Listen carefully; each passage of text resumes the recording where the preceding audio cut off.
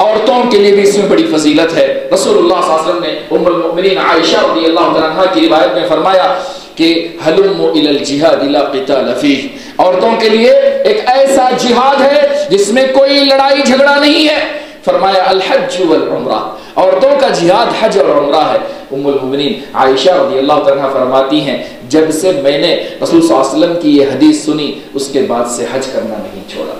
उम्रा करना नहीं छोड़ा, क्योंकि ये हमारा जिहाद है कहती हैं। यकीनन औरतों के लिए इसमें जिहाद है। मोहतरम सामीन ये हज की फजीलतें, ये हज, ये यकीनन अल्लाह की बड़ी नेमत है। लिहाजा अल्लाह जिसको तौफीक दे, जिसको हज में जाने की तौफीक दे, वो तीन बातों का ख्याल रखे। तीन बातों का ख्याल रखे। सबसे पहली बात, सबसे पहली बात, जिसकी वो तैयारी करे, जिसकी वो तैयारी करे क्या वो मालो दौलत है। नहीं, मालो दौलत जितना लगना है, उतना ही लगता है। किन चीज़ों की तैयारी करे? अया, कौन सी शॉपिंग करेगा? क्या खाएगा? कहाँ घूमेगा? कहाँ फिरेगा? पैसा कहाँ लगाएगा? बीवी का जेवर कैसा नया खरीदेगा? इन चीज़ों की ज़रूरत नहीं है। सबसे पहले जिसकी ज़रूरत है, वो अल्बाब। अल्लाह ने नसीहत की कि हाजी सबसे बेहतरीन तोशा जो तुम ले जाओगे, ज़्यादा राह जो तुम ले जाओगे, वो अल्लाह का तकवा है। अल्लाह का डर अपने अंदर पैदा करो। अपने अंदर अल्लाह का डर पैदा करो, क्योंकि तुम अल्लाह के दर पर जा रहे हो, अल्लाह के घर पर जा रहे हो। ये सोचो कि मैं तौबा कैसे करूँगा? ये सोचो कि मैं इबादत कैसे करूँगा? ये सोचो कि मैं रब के दर में कैसे गिड़गिड़ाऊँगा? अपने गुनाहों के, अपने गुनाहों की मांगूँगा ये सोचो, इंसान अपने अंदर अल्लाह का डर पैदा करे। वो तकवा।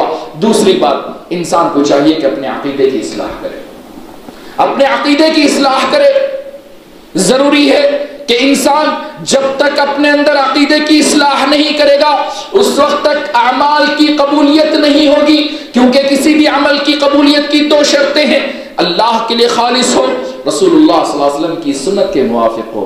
अगर आपके अकीदे में बिगाड़ हो, हाजी हज कबूल नहीं होगा, क्योंकि अल्लाह का वादा है अशरकू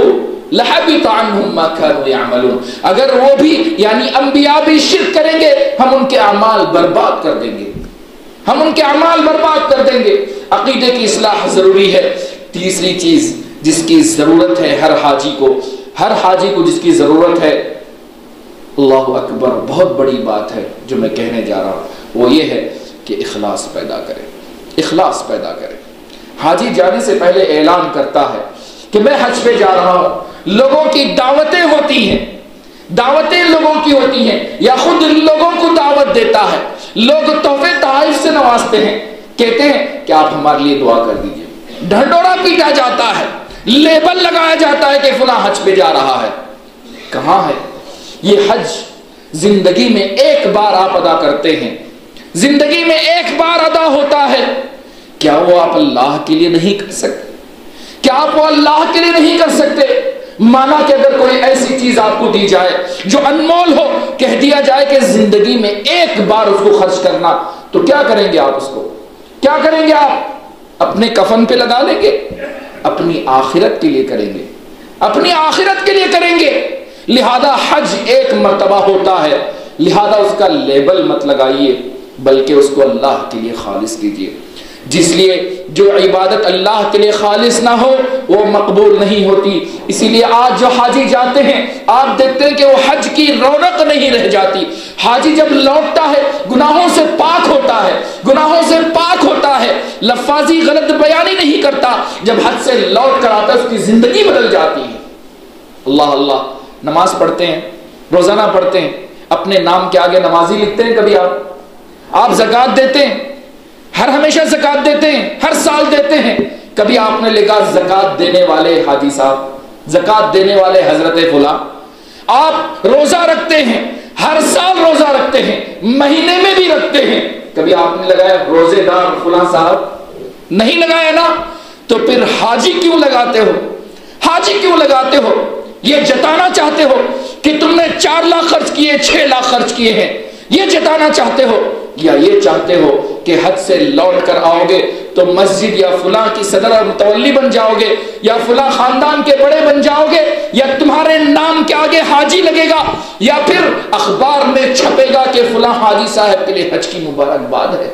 अल्लाह अल्लाह अल्लाह से डरो, अल्लाह से डरो, अल्लाह से डरो। इंसान के साथ कोई नाम नहीं लगता, जनाजे पे कोई लेबल नहीं लगता।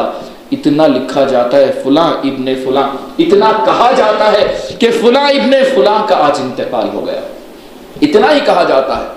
इतने हज किए, इतने रोज़े रखे, इतनी इबादत की, इतनी जक़ात दी, ये कोई नहीं कहता और ना कहा जाता है।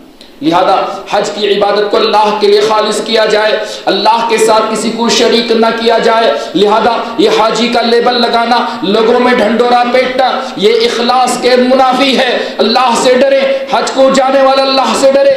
चुपचाप जाए, लोगों में ढंडोरा ना पीटे, लोगों से तोहफे तहाइफ ना ले, लोगों के लिए तोहफे तहाइफ ना लेकर आए। वहाँ जाने के बाद दस दिन यही कि फुलां के लिए क्या ले जाए, फुलां के लिए क्या ले जाए, फुलां के लिए क्या ले जाए, फुलां के लिए, फुलां की बेटी, फुलां ने हमें हदिया दिया, फुलां ने दावत दी, फुलां ने ऐसा किया, फुलां ने ऐसा किया। अल्लाह अकबर अल्लाह अकबर। हाजी साहब, अल्हम्दुलिल्लाह, हमारे इंडिया में हर चीज़ मिलती है, जमजम और खजूर। जो मदीने के हैं वो खजूर नहीं मिलते। वो लाइए, आप वो दीजिए, बाकी किसी चीज़ की आप फ़िक्र ना कीजिए, क्योंकि अल्लाह तबारक ताला ने हर मुसलमान को अपनी जगह अपनी जगह बेनियाज रखा है, अपनी जगह मालदार रखा है।